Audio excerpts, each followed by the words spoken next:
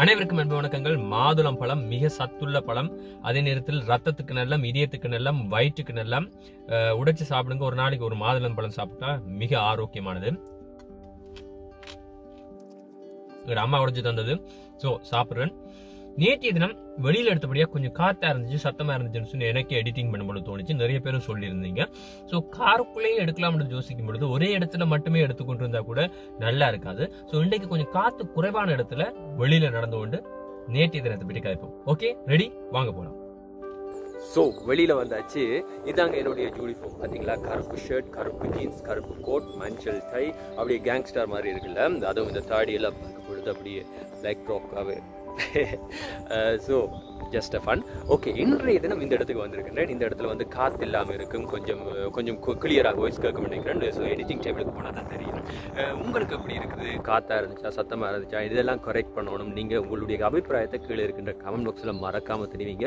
அதை நான் திருத்துறதுக்கும் காத்திருக்கின்றேன். ஸோ இன்றைய தினத்துடைய ஆரம்பம் என்னடா தம்னையில் ஜ தனுஷுன்ற ஃபோட்டோ போட்டிருக்கீங்க மார்க்கெட்டிங் டேலண்டான்னு கேட்டால் அது மட்டும் கிடையாது. நான் இன்றைய தினம் யூடியூப்பராக இந்த இடத்துல நிற்கிறதுக்கு தனுஷும் ஒரு மிகப்பெரிய காரணம். ஸோ அவருக்கு நன்றி சொல்லாமல் இந்த இடத்துல இருந்து அடுத்ததுக்கு போகிறதே ஒரு தவறான விடயம். அந்த தனுஷ் ஹெல்ப் பண்ணினாரா? எப்படி? அப்படின்னு சொல்லி கேட்டிங்கன்னு சொன்னால் அதை பார்க்குறதுக்கு முதல்ல இன்றைய நாள் ஆரம்பத்துல இருந்து பார்த்து பாருங்க. ஸோ நேற்றைய தினம் ஆறரைக்கு எல்லாம் வச்சுட்டு ஆறு மணிக்கு எழும்பிட்டேன்னு சொன்னாங்க இல்லையா? இன்றைய தினம் ஒரு டாஸ்க் கொடுத்து எனக்கு. ஆரம்பமே ஒரு டாஸ்க்ல ஸோ ஆறு மணிக்கு எழும்பிட்டேன்னு சொன்னா ஆறரை வரைக்கும் வெயிட் பண்ணாம உடனேயே எழும்பிடணும்னு சொல்லி யோசிச்சுட்டு படுத்தாச்சு. சரியா? காலம் எழும்பும் பொழுது சொன்ன ஆச்சரியப்பட மாட்டீங்க. ஆறரைக்கு தான் எல்லாம் வச்சு நான் அஞ்சு மணிக்கு எழும்பிட்டேன். அஞ்சு மணிக்கு எழும்பினோன்னா ஒரு முடிவு எடுத்தாச்சு. இல்லை இல்லை இது இப்படியே விட்டு அப்புறம் நாளைக்கு அஞ்சு மணிக்கு எழும்ப வேண்டும் எருமன்றதால ஸ்டாப் பண்ணிட்டு ஆறு மணிக்கு வரை வரைக்கும் வரைக்கும் வெயிட் பண்ணிட்டு ஆறு மணிக்கு எழும்பி ஜோக்கிங் போயிட்டு வீட்டை வந்து சாப்பிட்டு ஸோ இன்றைய தினம் ஜோக்கிங் பெருசாக களைப்பாலாம் இல்லை. ஆறு மணி ஆறு நிமிஷத்துலேயே நான் ஜோக்கிங் போயிட்டு வந்துட்டேன். ஸோ சாப்பிட்டுட்டு எட்டு மணிக்கு வேலைக்கு இறங்கியாச்சு. இன்றைய தின வேலையில் கிட்டத்தட்ட ஆயிரத்தி ஐநூறு ஓயிரம் எனக்கு லாபம். சேமிச்சிருக்கிறேன்னு சொல்லலாம். ருப்பீஸில் பார்த்தீங்கன்னு சொன்னால் மூன்றரை லட்சம் ரூபாய் காசு இன்றைய தினம் சேமிச்சிருக்கிறேன் எனக்கு பிடிச்ச எனக்கு தெரிஞ்ச ஒரு விஷயத்தை செய்ததால் எனக்கு அவ்வளோ லாபம். இருந்தது எப்படி? ஆர்கிடெக்டிங் ஒரு வீடு ஒன்று கட்டுறதுக்கான பிளான் உண்டு. நேற்று சொன்னேன்ல ஒரு பிளான் ஒன்று கீறி கொண்டிருக்கேன்னு சொல்லி. அந்த பிளான் ஒன்று கீறுறதுக்கு ஆயிரத்தி ஐநூறு யூரோ செலவாகும். அது ஏற்கனவே இருக்கிற ஒரு பிளானை மாற்றி அமைக்கிறதுக்கு ஆயிரத்தி ஐநூறு யூரோ செலவாகும்னு சொன்னாங்க. ஸோ நான் ஒரு மேத்ஸ் படிச்சேனா நான் ஆர்கிடெக்டிங் படிச்சேனா நான் ஒரு ஆயிரத்தி ஐநூறுரூவா செலவழிக்கணுமா? ஓகே பத்து வருஷம் ஆகிட்டு நான் படித்து இருந்தாலும் எனக்கு தெரிஞ்ச ஒரு துறை தானே. அதை திருப்பி கற்றுக்கொண்டு கூகுளில் பார்க்கலாம் யூடியூப்பில் பார்க்கலாம் கற்றுக்கொண்டு அதை கீறுறது ஒரு பெரிய கஷ்டமான விடயம் இல்லை. நானே அதை செய்கிறேன்னு சொல்லி அண்ணாட்ட சொல்லிட்டு ஒன்றரை மணித்தியாலத்தில் ஆர்கிடெக்டிங் அதை கீறி கொடுத்த நான். வடிவாக இருந்துச்சு. நல்ல வடிவா ஆயிரத்தி அஞ்சூறுவா காசு செலவழிக்க வேண்டிய அவசியம் கிடையாது. இதுலேருந்து நான் உங்களுக்கு சொல்கிற விடயம் என்னென்னு சொன்னால் உங்களுக்கு நீங்கள் சின்ன வயசில் ஒரு விடயத்தை கற்றுக்கொண்டிருப்பீங்க படிச்சிருப்பீங்க ஆர்வம் இருக்கும் அதில் தெரிஞ்சு வச்சுருப்பீங்க. அதை இங்கே வேற ஒரு சூழ்நிலையால் நீங்கள் வேலை செய்கிற சூழ்நிலையாலேயோ அல்ல இருக்கிற சூழ்நிலையாலேயோ அதை நீங்கள் செய்ய முடியாமல் போனால் அதை அப்படியே விட்டுறாங்க நீங்கள் வேலை செய்துகிட்டு இருந்தாலும் உங்களுடைய ஹொவி நேரம் ஓய்வு நேரம் இருக்கிற நேரத்தில் அதை லைட்டாக கற்றுக்கொண்டே இருங்க. அது எப்போவாவது உங்களுக்கு ஒரு மிகப்பெரிய அனுபவத்தை ஏற்படுத்தி தரும். எனக்கு தந்த மாதிரி மூன்று லட்சம் ரூபாய் காசு உங்களுக்கு சேமிச்சு தான் மிக முக்கியமான விடயம் இல்லை. அதை விட இன்னும் அதிகமான அனுபவத்தை உங்களுக்கு சேமிச்சு தரும். அந்த அனுபவம் தான் சுவாரஸ்யமான அனுபவம் தான் மிக முக்கியமானது. ஸோ உங்களுக்கு தெரிஞ்ச விடயம் உங்களுக்கு பிடிச்ச விடயத்தை உங்களுடைய வேலையாலேயோ உங்களுடைய குடும்பத்தாலேயோ உங்களுடைய சூழ்நிலையாலேயோ விட்டுறாங்க அதை நான் இந்த இடத்துல நேற்று தினம் கற்றுக்கொண்டு அதை உங்களுக்கு சொல்கிறேன் ஸோ இப்போ தனுஷ்ன்ற விடயத்துக்கு வரும். தனுஷ் எனக்கு ஹெல்ப் பண்ணினாரான்னு கேட்டால் இந்த யூடியூப் சேனல் ஆரம்பித்து நான் ரெண்டாயிரத்தி பதினஞ்சு டிசம்பர் மாதம் தொடங்கினான் நிறைய நல்ல வீடியோக்கள் நூற்றுக்கணக்கான வீடியோக்கள் கல்வி வீடியோஸ்கள் மேஜிக் வீடியோன்னு நிறைய வீடியோக்கள் போட்டு நான் வியூஸே வரையில ஒரு நூறு பேருக்கு அனுப்பினா ஒரு பத்து வியூஸ் வரும். ஒரு சப்ஸ்கிரைபர்ஸ் பார்த்தீங்கன்னு சொன்னால் ஒரு இருபது பேர் தான் சப்ஸ்கிரைப் பண்ணுவாங்க. இப்படி தான் என்னுடைய நிலை இருந்தது. ஆனால் நான் அந்த கடை அந்த நேரத்தில் கடை வச்சுருந்தேன். ஸோ அன்றைக்கு ஒரு நாள் என்னுடைய அம்மா வந்து கேட்டார் தனுஷுக்கு டிவோர்ஸ் ஆயிட்டா அப்படின்னு சொல்லி கேட்டேன். நான் சொன்னேன் இல்லையம்மா அது தனுஷ் ஏன்னா நான் அந்த கடையில் இருக்கிறபடியா எல்லா நியூஸுமே வாசிச்சிருவேன். நிறைய ஓய்வு நேரம் இருக்கும். எல்லா நியூஸுமே வாசிச்சிருவேன். அம்மாட்ட சொன்னேன் அது தனுஷ் இல்லை ரஜினியுடைய மற்ற மகளுக்கு தான் டிவோர்ஸ் ஆகிட்டேன்னு சொல்லி சொன்னேன். சொன்னதோட யோசிச்சு நான் என்னுடைய அம்மாவுக்கு இருக்கிற இந்த சந்தேகம் மாதிரி நிறைய பேருக்கு சந்தேகம் இருக்குது தானே. ஸோ இது ஒரு காணொலியாக செய்து போகணும்னு சொல்லி ஒரு இரண்டு நிமிட வீடியோ ஒன்று செய்து யூடியூப்பில் போட்டேன். அன்றைய தினமே பத்தாயிரம் கிளிக்ஸ் முன்னூற்றுக்கணக்கான சப்ஸ்கிரைபர்ஸ் நிறைய லைக்ஸ் வந்துச்சு. அங்கே தான் எனக்கு ஒரு விடயமே தெரிஞ்சுது. மார்க்கெட்டிங் என்கின்ற ஒரு விடயம் தெரிஞ்சது. உங்களுக்கு தேவையான ஒரு மாத்திரையை கொடுக்கணுன்னா கூட தேனுக்குள்ள கலந்து கொடுத்தா தான் அது மாத்திரை போய் சேருது. ஏனென்றா நான் போட்ட மற்ற வீடியோஸ்கள் பயனுள்ள வீடியோஸ்கள் இருக்குல்லவா அந்த வீடியோக்களுக்கும் வியூஸ் அள்ளி கொண்டு வந்துச்சு இந்த ஒரு வீடியோவால். ஸோ அதனால் நான் யோசிச்சேன் ஒரு நாளே ஒரு ஏழு வீடியோ எட்டு வீடியோ போடுறோம். அதில் ஒரு நாலஞ்சு வீடியோ இப்படிப்பட்ட என்டர்டைன்மெண்ட் வீடியோவாக இருக்கட்டும். மிச்சமாக இருக்க ரெண்டு மூணு வீடியோக்கள் ஒரு ஆரோக்கியமான வீடியோவாக இருக்கட்டும் சொல்லி யோசிச்சுட்டு இப்படித்தான் யூடியூப்புக்குள்ளே என்ட்ரி ஆனது.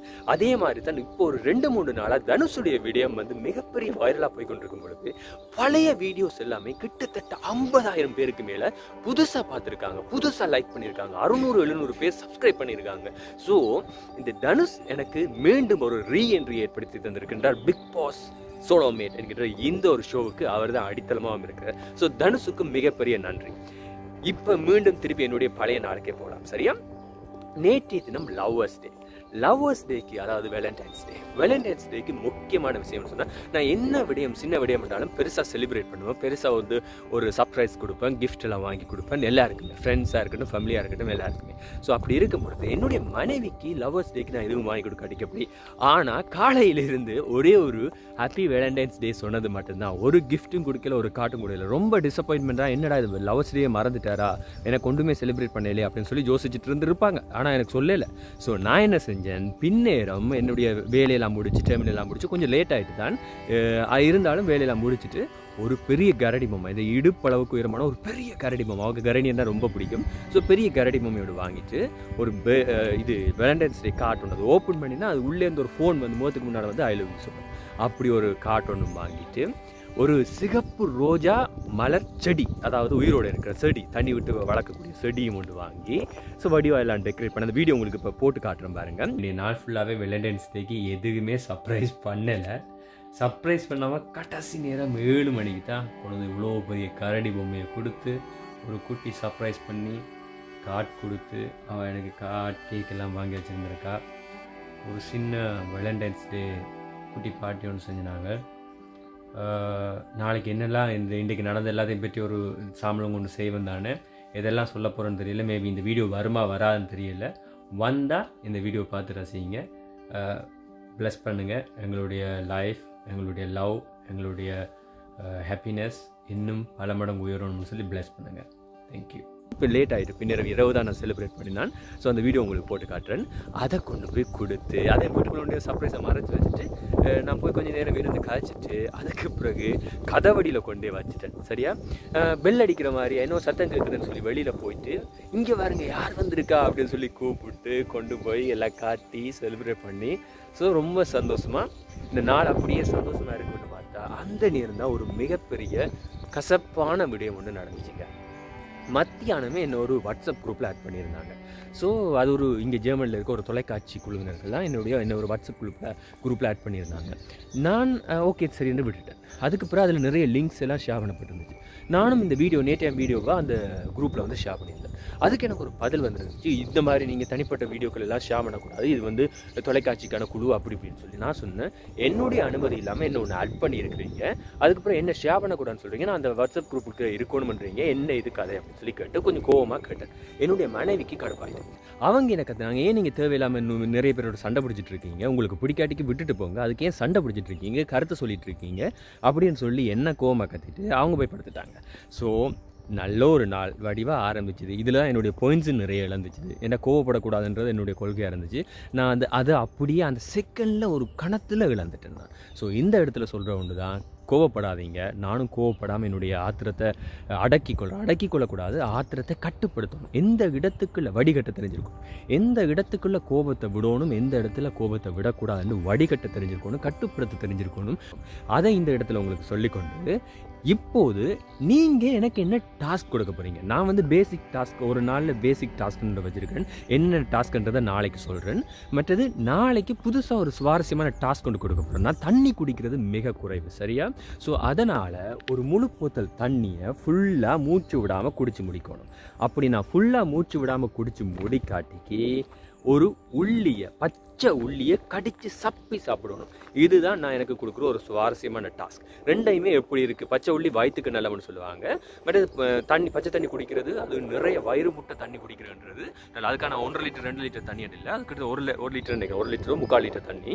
அதை ஃபுல்லாக நான் குடிக்கிறது வயிறுக்கு அப்படியே ஒரு மிக ஆரோக்கியமான விடயம். ஸோ இந்த இரண்டு விடயத்தையுமே நான் உங்களுக்கு நாளைக்கு செஞ்சு காட்டுறேன். இது நான் கொடுக்குற டாஸ்க் நீங்கள் என்ன டாஸ்க் கொடுக்க போறீங்க? ஒரு சுவாரஸ்யமான விஷயங்கள். இதை போல உங்களுக்கு பிடிச்ச ஒரு சுவாரஸ்யமான விஷயங்கள். நீங்கள் என்ன கொடுக்க போகிறீங்கன்னு சொல்லி மறக்காம கமெண்ட்ல தெரிவிங்க.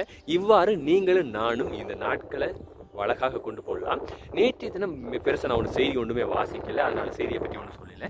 இன்றைய தினம் எக்ஸ்ட்ராவா ஒரு மணி நேரம் டைம் எடுத்து செய்தி வாசிக்க போறேன். ஸோ நாளைய தினம் இன்றைய தினத்தில் நடந்த விஷயங்கள் சுவாரஸ்யமான செய்திகள் என்று அதையுமே உங்களுக்கு ஆட் பண்ண போகிறேன் ஸோ நாளைய தினம் சந்திப்போம். நன்றி வணக்கம். உங்கள் அன்பு நண்பன் சீனா சிவ வினோபன்